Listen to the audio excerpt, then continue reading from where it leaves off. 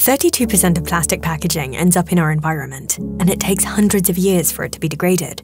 Switching to sustainable packaging alternatives, McDonald's already avoided over 2,000 tons of plastic in Germany since 2019, an important step towards a plastic free future.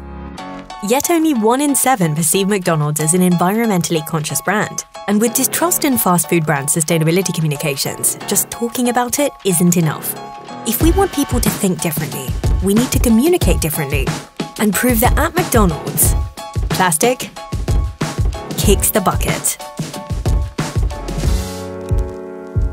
With a campaign just as plastic free as the packaging itself, even if it means that we sometimes violated the laws of media effectiveness. Print ads? Only in certified advertising media and on recycled and certified paper. Shorter online spots cause less emissions, so let's make them shorter. And as plastic free and media fast highlights, murals made from ecological wood in two of Germany's biggest cities featured an analog and therefore emission free animation of the campaign motive, even using special photocatalytic paint to purify polluted air. The eco optimized campaign let people think of McDonald's as a more sustainable brand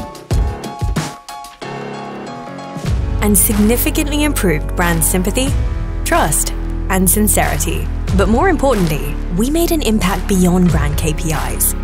The usage of recycled paper reduced emissions by 15%. The wooden murals filtered as much air as 14,000 square meters of forest do per day. And the shorter video ads saved the amount of emissions which would be caused by a round trip flight from LA to Cannes. And this is just the beginning.